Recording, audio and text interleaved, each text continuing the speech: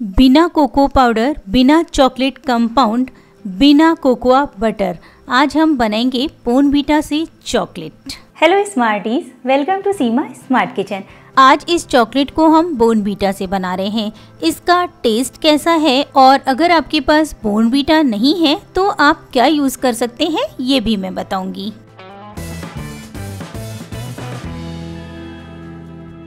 मैं यूज़ कर रही हूँ थर्टी रुपीज़ वाला बोर्नबीटा का पैकेट। अगर कप से नापेंगे तो ये हाफ़ कप है और ग्राम में 75 ग्राम है। हाफ़ कप बोनबीटा को ग्राइंडर में डालकर महीन ग्राइंड कर लीजिए। अगर आपके पास बोनबीटा नहीं है, तब आप कोई भी चॉकलेट ड्रिंक जो दूध में मिलाकर बच्चों को देते हैं, उनमें से कोई भी चॉकलेट ड्रिंक ग्राइंड करके सेम क्वांटिटी में यूज़ कर सकते हैं। ग्राइंड किया हुआ चॉकलेट ड्रिंक साइड में रख दीजिए। गैस पर एक पैन चढ़ा दीजिए। इसमें डाल दीजिए हाफ़ कप चीनी, वन फोर्थ कप पानी। जितना आपने चीनी लिया है, उससे आधा पानी लेना है। फ्लेम ऑन कीजिए। जब तक चीनी मेल्ट ना हो जाए, तब तक चलाते हुए इसे कुक कर लीजिए। इस चाशनी से हमें एक तार की चाशनी तैयार करनी है। बीच बीच में चेक करते रहिए। जब चाशनी कुछ इस तरह की थोड़ी सी थिक हो जाए, चम्मच में चाशनी लीजिए थोड़ा सा ठंडा कीजिए। उंगली और अंगूठे के बीच में रखकर इस तरह से चेक कीजिए।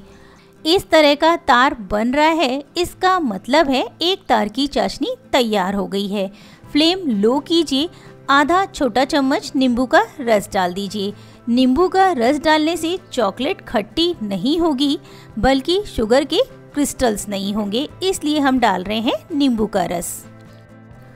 और तुरंत ही इसमें डाल दीजिए टू टेबलस्पून बटर बटर आप सॉल्टेड अनसॉल्टेड कोई भी यूज़ कर सकते हैं। हमने इसमें चीनी डाली है तो सॉल्टेड बटर का भी टेस्ट इसमें नहीं आने वाला है।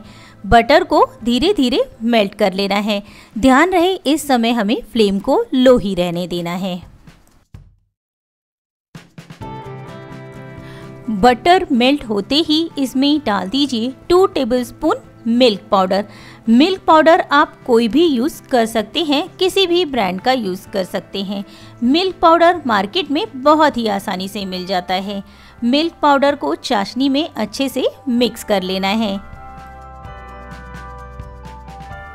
अगर आप मैनेज नहीं कर पा रहे हैं, इस समय फ्लेम बंद कर दीजिए और इसमें डाल दीजिए ग्राइंड किया हुआ चॉकलेट ड्रिंक मैंने बोनबीटा डाला है, आप कोई भी चॉकलेट ड्रिंक डाल सकते हैं।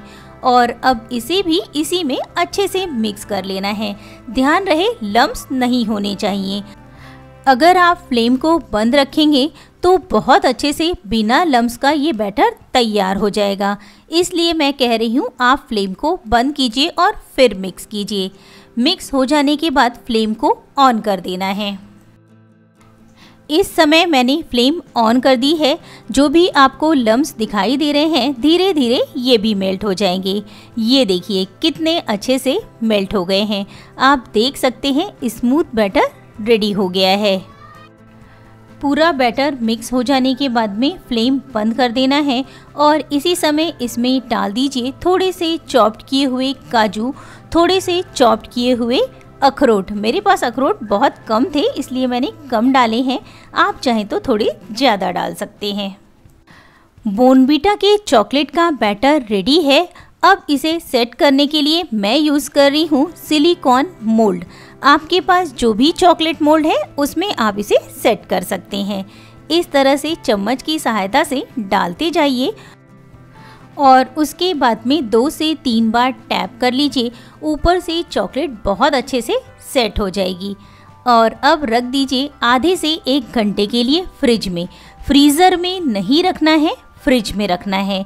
उसके बाद निकालिए, ये देखिए, चॉकलेट रेडी है। इस चॉकलेट का टेस्ट थोड़ा सा चुई होता है, जैसा कि कैडबरी एक्लेयर्स का होता है, पर बहुत ही टेस्टी बनती है।